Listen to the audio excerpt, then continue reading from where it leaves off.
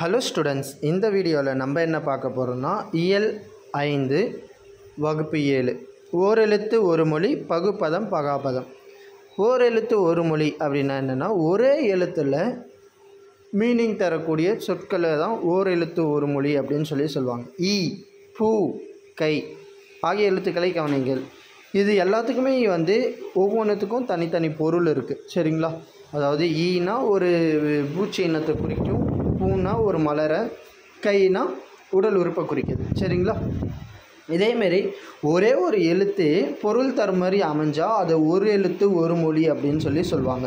நன்னூல் எனும் இலக்கண நூலை எழுதிய பவனந்தி முனிவர் தமிழில் நாற்பத்தி ரெண்டு ஓரெழுத்து ஒரு மொழிகள் உள்ளன என குறிப்பிட்டுள்ளார். மொத்தத்தில் நாற்பத்தி ரெண்டு இருக்குது அப்படின்னு சொல்லி சொல்லியிருக்காங்க. இவற்றில் நோ து ஆகிய இரண்டு சொற்களை தவிர ஏனைய நாற்பது சொற்களும் நெடில் எழுத்துக்களாகவே உள்ளன.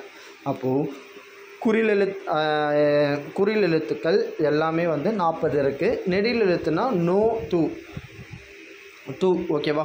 அது ரெண்டு மட்டும்தான் நெடில் எழுத்துக்களாக இருக்குது சரி மற்ற எல்லாமே நெடில் எழுத்துக்களாக இருக்குது நோ தூ அப்படின்றது மட்டும்தான் குறில் எழுத்தாக இருக்குது அப்படின்னு சொல்லி சொல்கிறாங்க ஓகேவா? என்னென்ன எழுத்துக்கள் பார்த்தீங்கன்னா ஆ ஆனா பசு ஈனா கொடு ஈதல். ஓகேவா? ஊ அப்படின்னா இறைச்சி ஏனா அம்பு ஐனா தலைவன் ஊனா மதகு நீர் தாங்கும் பலகை. மதகு நீர் தாங்கும் பலகை. கா அப்படின்னா சோலை கூ அப்படின்னா பூமி கைனா ஒழுக்கம் கூனா அரசன். சா இறந்து போ. சி இகழ்ச்சி சே உயர்வு சோ மதில். தா கொடு தீ நெருப்பு தூ தூய்மை தே கடவுள் தை தைத்தல் நா நாவு நீ முன்னிலை உரிமை நே அன்பு நை இழிவு நோ வறுமை பா பாடல் பூ மலர் பே மேகம் பை இளமை பூ சில் மா மாமரம் மீ வான் மூ மூப்பு மே அன்பு மை அஞ்சனம் மோ மோதல் மூத்தல் யா அகலம் வா அழைத்தல் வி மலர் வை புல். வை புல் வவ் கவர் நோ நோய் து உன்.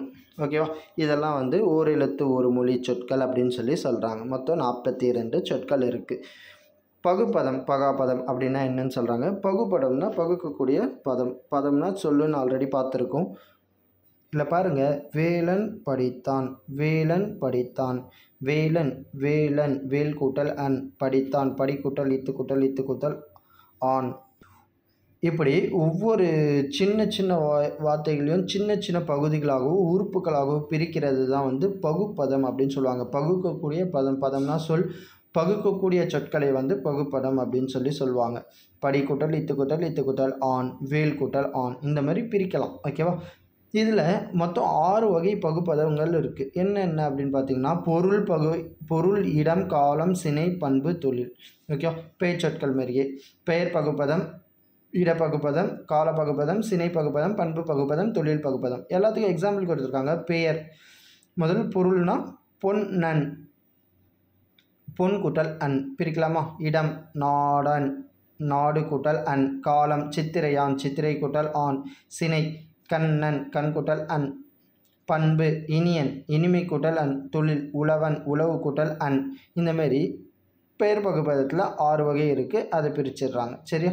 அதுக்கப்புறம் வினை பகுப்பதம் அப்படின்னு ஒன்று இருக்குது பெயர் பகுப்பதம் வினை பகுப்பதமில் பெயர் பகுப்பதம்னா என்னன்னு தெரிஞ்சிச்சு. இப்போ வினை பகுப்பதம்னா ஒரு செயல் செயலை பிரிக்கக்கூடியது.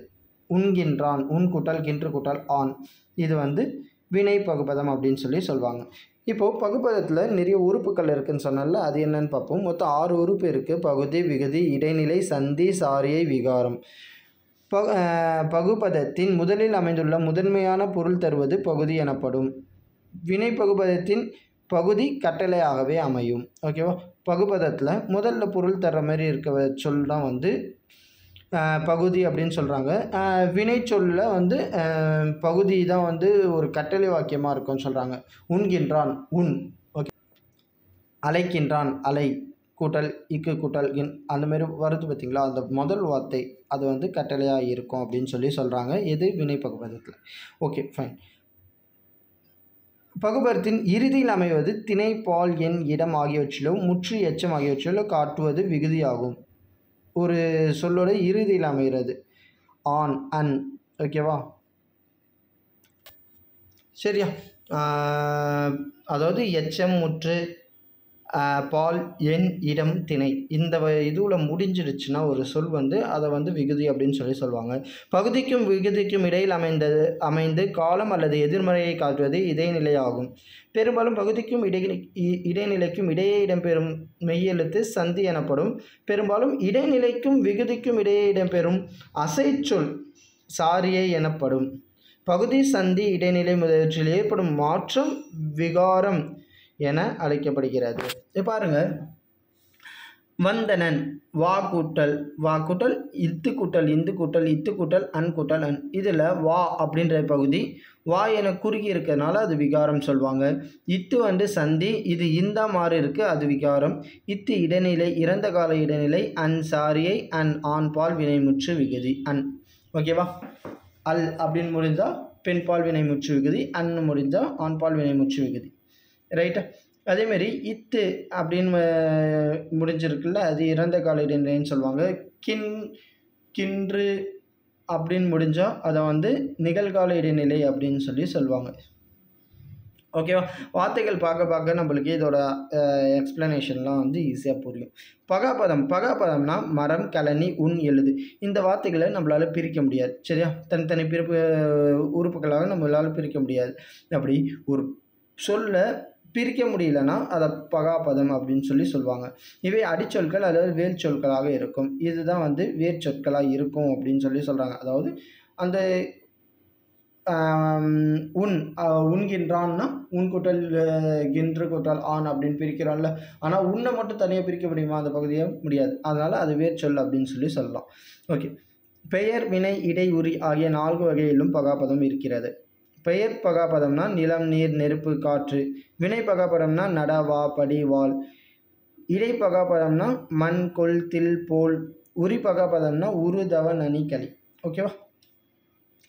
நன்னூலின்படி தமிழில் உள்ள ஓரெழுத்து ஒரு மொழிகளின் எண்ணிக்கை நாற்பத்தி ரெண்டு எழுதினான் என்பது வினை பகுப்பதம். பெயர் பகுப்பதம் எத்தனை வகைப்படும்? ஆறு வகைப்படும். காலத்தை காட்டும் பகுப்பத விகுதி.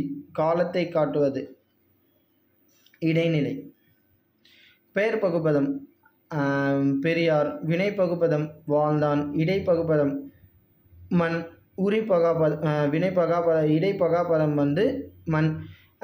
உரி பகாபதம் வந்து நனி. Okay thank you friends